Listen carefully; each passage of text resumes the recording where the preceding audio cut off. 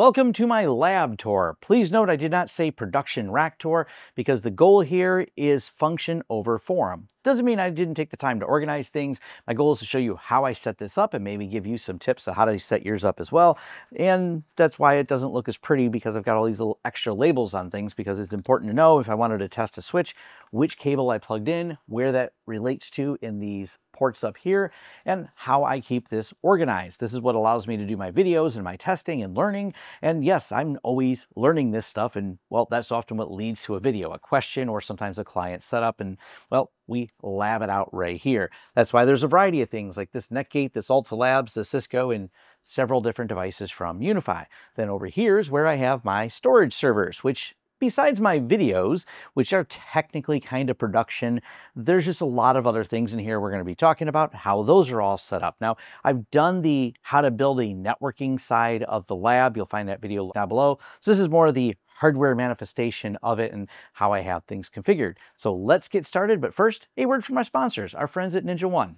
Ninja One automates the hardest parts of IT, empowering more than 20,000 IT teams with streamlined visibility, security, and the control over their endpoints. NinjaOne's reputation is built around obsession with customer success. They won the 2024 SC Media Award for Best Customer Service, and its platform consistently earns rave reviews for its ease of use and release schedule. Learn about how your organization can benefit from NinjaOne's automated patch management, cross platform mobile device management, free warranty tracking, and more at ninjaone.com.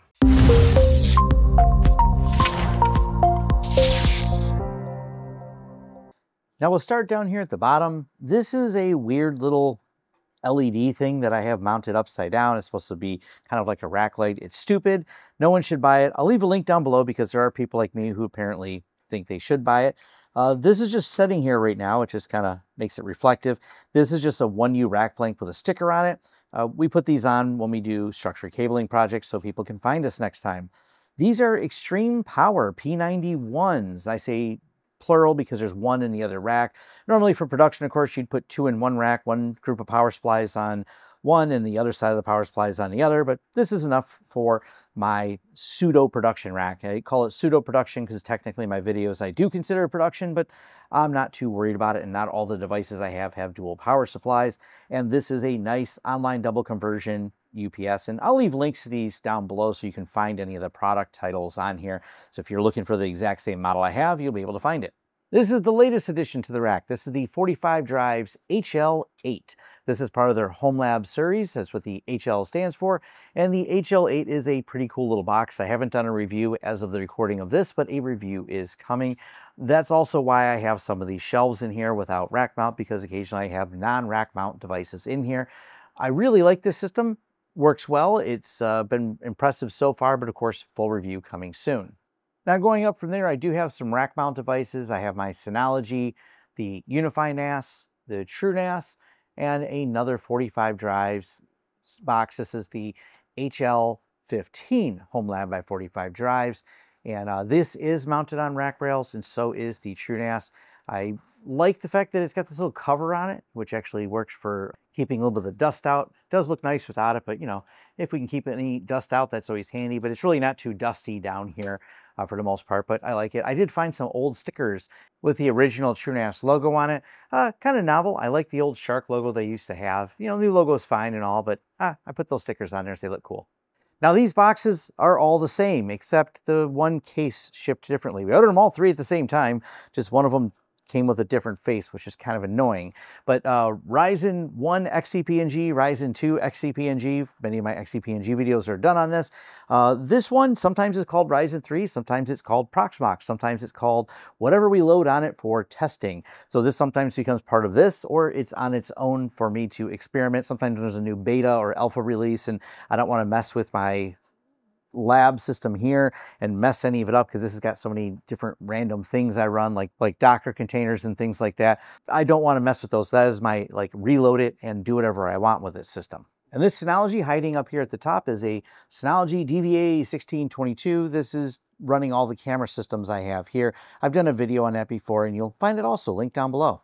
Now moving on to this side of the lab, I have these labeled up here because these power on or off the different devices. So if I want the Alta Labs on or off, I do this, and if I want to turn the Cisco on, I flip that switch right there. I have a UDM Pro Max. This is my lab one, not my production one. And uh, the Netgate device. If I turn this on, that'll fire that up. I don't currently have this uh, EFG on a switch because of the dual power supply. It just stays on right now. It's also currently in testing, so I have some upcoming videos and reviews for working on that one. But part of the reason I use these right here, and this is just simply patch panels without keystones inserted, these will allow me to keep the wires kind of organized here as they go through. And each of these is labeled in UniFi. So this is my UniFi Switch Pro, and those come down and come back out right here and go to each of the individual devices. And as I said, if you look at my video where I talk about how I do the network engineering lab, you'll get a better idea of like how I separate these and how they work. Now let's talk about these and how they correspond to what's up here. These are labeled right here, one through eight, and this allows me to tie to ports 1 through 8 on the UniFi switch. Then we also have a couple other ones labeled over here that tie to these two keystones. And the reason for that is these are PoE++ ports on this side of the UniFi. So I just have a couple plus plus ports over here, and these are standard PoE ports for when I want to power on devices. Now these cables just all run down the side of the rack here. They are all individual and generally loose, but they are tied together tight on the side of the rack here. But they're long enough for me to set things up in any one of the positions here. Because what I do is lab things out, such as I want to test this particular UniFi. I'll say, all right, this is going to plug into uh, port 5. And then I can map port 5 either to my system and my network or one of these other devices. I can actually then plug in something over here and plug it into the Cisco switch or plug it into the Netgate box and start building out the different VLANs and different networks for any of my lab environments. If I wanted to set up a site-to-site -site VPN between like this Netgate and one or two of these UniFis up here, I would do that all virtually, and then I can put other devices right here. I do it all with VLANs because it's a lot easier to do. As I said, I referenced that in my lab video. This is why there's a long list of VLANs like 101, 102, 103, 104, because when you have a lot of separate networks that you want to build out for some type of environment, this is really convenient and having everything labeled helps a lot. Now I do really recommend these rack studs. They make this way easier to do and easier to swap things out. You put the rack studs in, they clip in, it gives you a couple studs to hang the device on so you don't have to have two people while you try to line the screw holes up. You can just set it there and spin the little rack studs on. Now I know not everyone's a fan of this, but for convenience, on both of these racks, I utilize the back side of the rack. So we're actually standing behind it right now. So we have this UniFi switch, and then this is the actual UniFi Dream Machine that runs my network right now. I just did a recent video talking about swapping that out here for what I used to have was a pfSense. Uh, and this is the internet feed that just goes up and over behind me to a standard cable modem box. Unfortunately, we don't have fiber where I'm at. Uh, then from there, the UDM uplinks at 10 gig to this, and then here's lots of DAC cables. Here's a Synology that I have sitting back here. This just has some backups on it, and once again, it's another Synology that I use for test scenarios, and it pairs up with well with the Synology when I'm doing replication from Synology to Synology. I've done several videos on that. Now down a little further, I do have this Cyber Power, which is double-sided, so it's got plugs on both sides to distribute power, and I bought some of these colored cable. There's not actually any color coding, although I did put important power as a label on this because this does run my UDM Pro Max, and this is critical to keeping the network up and running. Now this is just another lab computer down here. I just have it in this case. It normally actually comes with a glass top. I'll find the model of the case and leave a link for those interested. Uh, but this allows me to set some cards in there, do some testing. I have some upcoming videos I'm doing on Ollama. so it's got a graphics card in here for processing, but it's just a basic AMD build. And for convenience, it's got a couple uh, 10 gig DAC ports right here that'll just link back up to the UniFi switch above. And then a little bit further down, is a rack mounted drawer that I have back here. I just keep a keyboard and some cables in here. I'll have some miscellaneous stuff. I had it and I didn't want it on the front because I don't use it that often, but I actually don't use the keyboard that often as I'm usually connecting with a KVM or IPMI, but uh, it's just convenient so I threw it back here.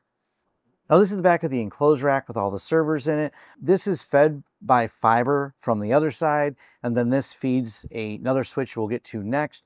But this is a USW Pro aggregation switch, and it gives me a few 25 gig ports because some of these servers back here, those Ryzen ones, the three of them, all have 25 gig connections on there. I was starting to do some color coding. Maybe I'll come back and revisit this and use some different cables, but these DAC cables are orange, and I was like, okay, I'll use the orange for storage, so that's what they go to. Then I ran out of orange, and this black one happens to also go to some of the storage servers. So, so much for color coding, but DAC does come in different colors, and maybe one day I'll uh, repurchase some new ones, but for now, this is working, and there's nothing more permanent than a temporary solution. This is just another switch to cover all the IPMI and some of the things that don't have DAC. But as I'd mentioned in another video, use DAC in your rack as much as possible, especially these nice 25 gig connectors. I still got a couple ports open. You may have noticed there's three servers with only two plugs in. Well, I haven't hooked the other server up yet, but I do have a 25 gig cable I'm going to run over to that. Now, a valid concern someone might have is aren't these servers pushing out heat this way and the switches blowing heat that way?